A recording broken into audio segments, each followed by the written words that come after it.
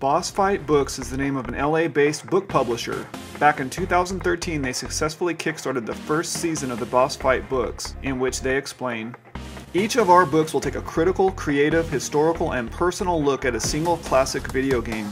Some books will be about the history of the game's creation, some will focus on particular elements like level design, story, and music, some will investigate the subculture that has formed around a game, some will bring in outside art, science, and media, some will have a strong autobiographical element.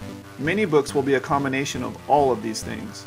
So far, there have been three seasons kickstarted, a season being comprised of six books. In season 1, 1,349 backers pledged $45,429 to bring the project to life. Season 2 brought 1,228 backers pledging $53,186 to bring the project to life. And in Season 3, 908 backers pledged $36,070 to help bring the project to life. Earlier this year at the SoCal Retro Gaming Expo, they had a small booth set up where they were selling some of the books at a discounted price. This is where I was introduced to them. I hadn't heard of them and I liked the concept, so I picked up two books, Galaga and Spelunky.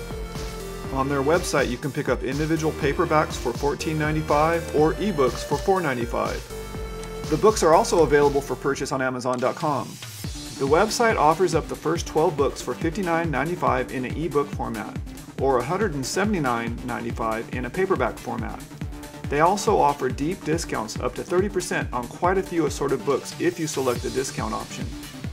The Galaga book was written by world-renowned author Michael Kimball. He cleverly broke the book into 255 stages, mimicking the number of levels in the game. I would actually prefer to call them factoids since most of them fit into that category. The book may not be for everyone for a couple of reasons. This is not your typical style of book. Like I said, it's broken up into a number of mini snippets of information, each one telling its own little story and not necessarily in any specific order. He does sprinkle in some personal information such as how he had an abusive father, etc. This may be a turnoff for some, but I thought it added something. There were also a couple of false or fake factoids thrown in, which I gather he did because he was running short of the goal of 255 stages. On the positive side, he did manage to throw in a whole lot of information pertaining to the game, and I actually quite enjoyed the format as well as his personal stories. He told stories of growing up playing Galaga at many different locations, including the arcade at the local mall. He told stories of friends gained and lost, all the while maintaining the Galaga theme throughout. He threw in a lot of pop culture references regarding Galaga. The book is a quick read, maybe two hours max. There was enough content to keep me interested the whole way through. I would add, it helps a whole lot if you're familiar with the game.